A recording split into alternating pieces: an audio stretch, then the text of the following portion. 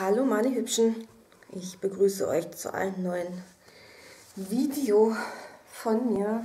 Ja, kam ja Mittwoch kein Video, weil ich ja wie gesagt ähm, nicht zu Hause war.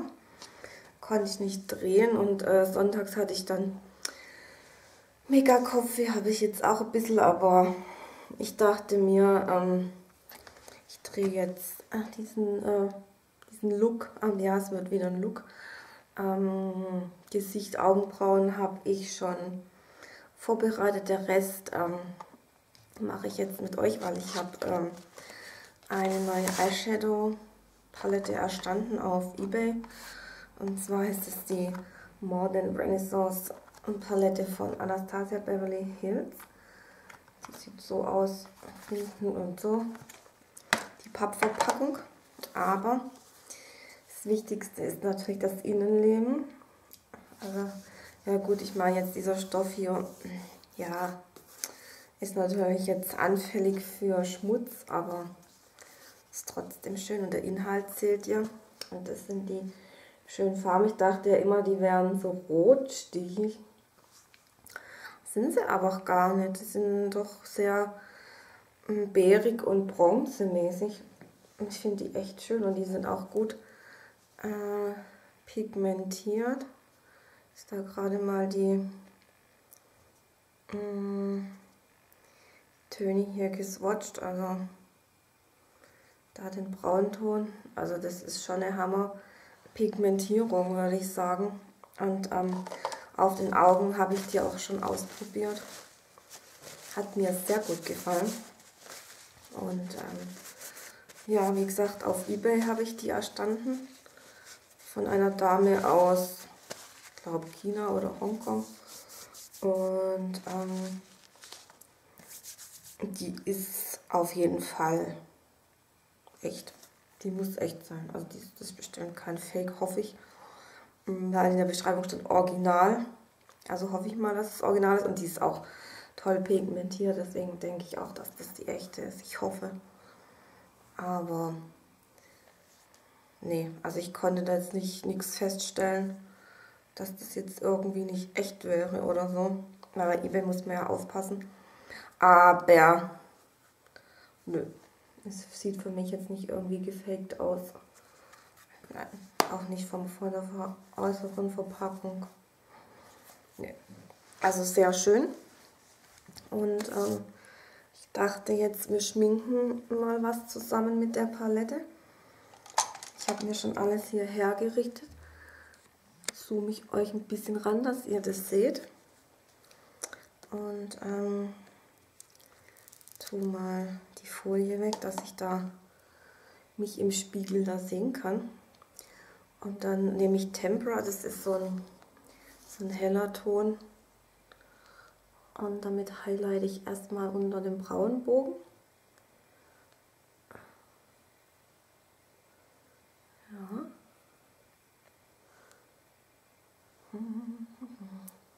Der zweite Teil von der Blush-Sammlung wird dann auch noch kommen.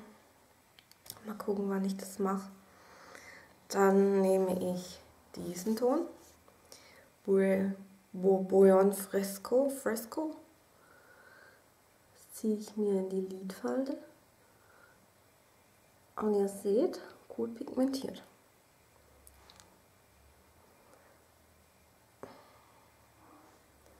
Sehr schön. Also wo die ankam, dachte ich, oh, oh, oh. ich habe das damals bei Douglas irgendwie voll verpasst. Irgendwie, ich weiß nicht, dann wollte ich sie mir doch. Ich war mir erst nicht sicher damals. Dann dachte ich, warte ich noch. Dann habe ich, gab es die ja bei Douglas, da bin ich da auf die Seite gegangen und dann war sie gerade nicht lieferbar. Und dann habe ich diese E-Mail angegeben, das Produkt, wenn lieferbar, kriegt man eine Meldung. Ja, die Meldung habe ich zwar dann bekommen, aber dann hieß es, ähm, dass die nicht mehr reinkommt. Und nicht so, äh, scheiße. Das war, ja. Jetzt gehe ich mal in die. Ja, und das war ein bisschen blöde.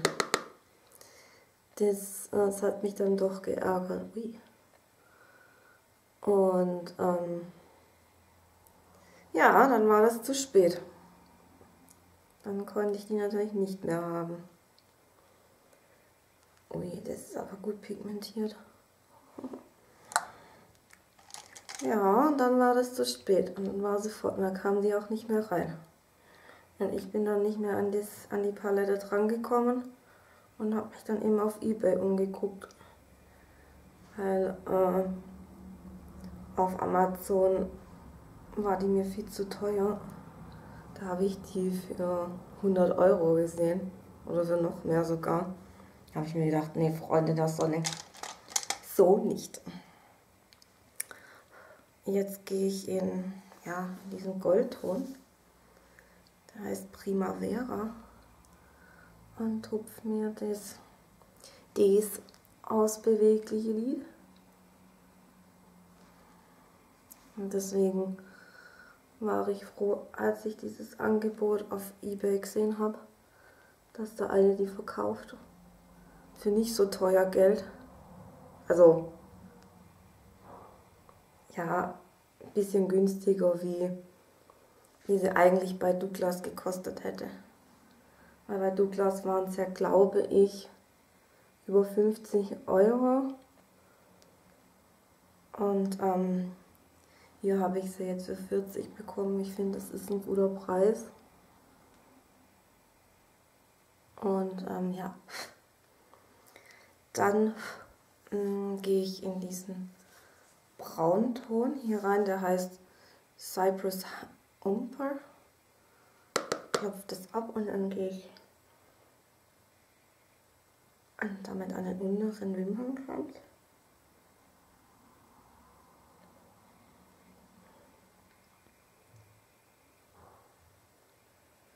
Ja, so war die Geschichte mit der Palette. Dann gehe ich in Red Orca, das ist so ein schön rötlicher Ton, und tupfe mir den ans äußere V, also so außen hin. Und ich finde, das ist eine Wahnsinnsfarbe. Alter.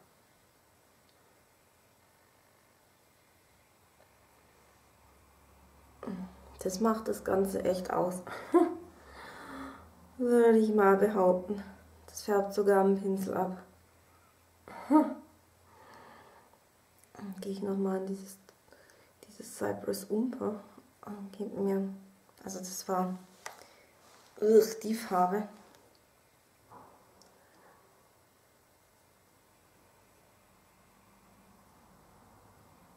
Ja, ich will nicht so doll. Soll ja nicht irgendwie so bumm. Ja, genau. Mal noch ein bisschen blenden. Kann nicht schaden. So. Genau. So, das wäre jetzt erstmal dieses. Genau. Und dann möchte ich mir noch einen Lidstrich ziehen mit dem Dip Eyeliner von Manhattan. Das ist dieser Waterproof Eyeliner. Hm.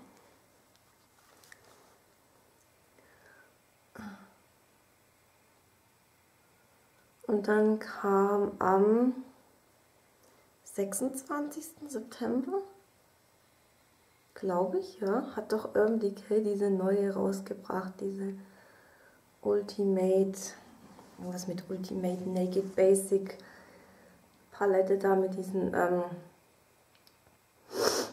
oh voilà, mit diesen matten Farben. Also es ist auch neutrale Töne, aber ähm, matt, also ohne Schimmer, ohne nichts. Und ähm, ja, ich dachte mir erst, nee, brauchst du nicht. Du hast matte Farben, du brauchst die Palette nicht. Und dann habe ich die irgendwo gesehen, weiß nicht was, auf Instagram oder Facebook. Keine Ahnung, war die dann in, in, in Nahaufnahme zu sehen. Jetzt nehme ich so einen braunen Kajal von Manhattan. Und dann äh, Und dann dachte ich mir so, oh, die ist nicht schlecht, ne? Ja, dann habe ich bei Frau Shopping nach einem Rabattcode gesucht, habe mir den Rabattcode rausgesucht, weil äh, ich dachte mir, komm, so 10% Rabatt, dann ist es günstiger. Ja, bin dann da drauf. So, zum Konturieren nehme ich die von Makeup Revolution, die Lights on Contour Pro Palette. Das ist ja dieses Tube ähm, zur NYX Konturpalette. Da nehme ich ähm, diesen bräunlichen Ton zum Konturieren. Ja, wie gesagt, ich habe den Rabattcode gehabt. Habe den schön äh, in die Zeile kopiert. Das Produkt in den Warenkorb gelegt. Ja, ihr kennt ja das Prozedere wie man das so macht, bla bla. Ja, habe ich gemacht alles und so weiter und so fort. Hat alles geklappt, Bestellung war aufgegeben und ähm, hat alles soweit funktioniert. Ja, dachte ich zumindest, dass es funktioniert hat nehme ich als Blush den äh, Glow Touch Compact Blush in der Farbe 050 Touch of Ember.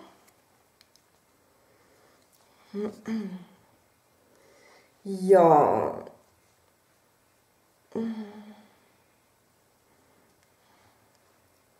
So, tuff, tuff. Ja. Und dann kriege ich eine E-Mail es war Montagmittag. Jetzt nehme ich die Overnight Lighting Mascara von Misha. Ah, die finde ich spitzenklasse. Ausführliche Review würde noch folgen, nachdem ich die eine Weile getestet habe.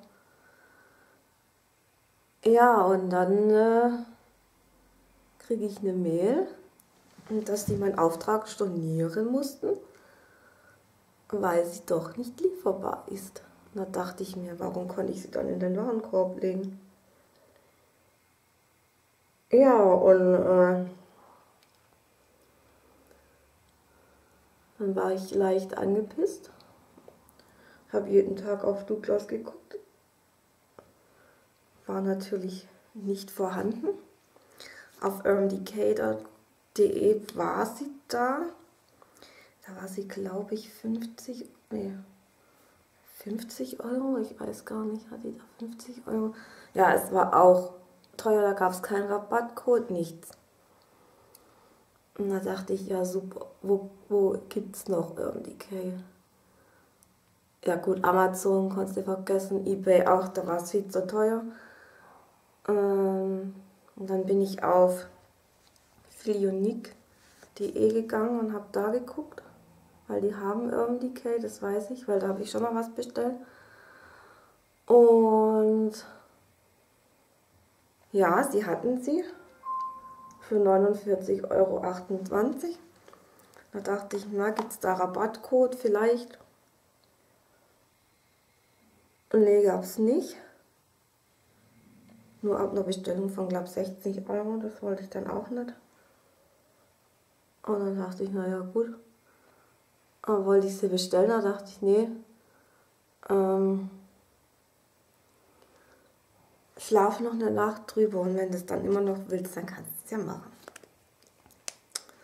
Ja, und dann äh, habe ich die Nacht drüber gepennt, habe mir das überlegt und dann, ähm, ja, dann habe ich sie mir doch bestellt bei unique.com, weil wie gesagt, bei den ganzen anderen äh, war sie nicht vorrätig. Zum Highlighten nehme ich diesen Ton. Und ähm, ja, jetzt freue ich mich drauf, dass die dann demnächst kommt. Das heißt demnächst, also so fünf bis zehn Tage dauert es doch. Aber ich werde auf jeden Fall dann einen Look damit kreieren. Ja, ein bisschen Highlight. Jetzt habe ich jetzt nicht so viel gemacht. Für die Lippen nehme ich diesen Liquid Lipstick von Essence in 02 Beauty Secret. Ich weiß gar nicht, gibt es die überhaupt noch? Ich glaube nicht. Hm. Hm.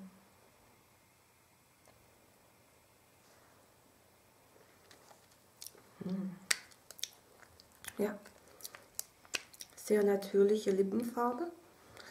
Gefällt mir doch ganz gut. Und jetzt zoome ich euch ein bisschen näher, dass ihr das Augenmerk absehen könnt. Ich finde die Farben echt super, super schön. Ja, und so sieht es dann von weitem aus. Mhm. Ja, gefällt mir auch sehr gut. Doch, gerade dieser, dieser Rotton da, also, ne, oder der Bärenton, kann man auch gut nehmen. Ne, oder dieser hier. Also, das macht die Palette schon außergewöhnlich. Und ähm, ja, finde ich sehr, sehr schön. Damit kann man viele Looks kreieren.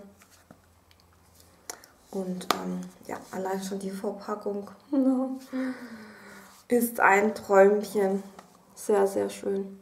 Ja, Daumen nach oben auf jeden Fall. Sehr gut. So, meine Lieben, das war's schon wieder von mir. Das nächste Video wird dann Blush-Sammlung Teil 2 sein.